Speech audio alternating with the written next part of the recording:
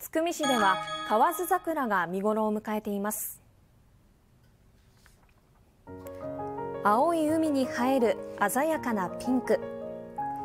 津久見市与浦半島ではおよそ5000本の河津桜が見頃を迎え一足早く春の訪れを感じられます。まだちょっと早いかなと思ったんですけど綺麗に咲いてます。与浦半島ではおよそ20年前から地域の住民たちが植樹を続け今では県内有数の名所として知られています。今年は気温が高い日が多かった影響で例年よりも1週間ほど早く咲き始めました。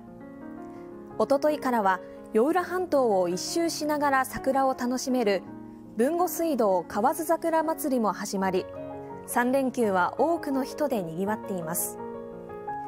河津桜は今月下旬まで楽しめるということです。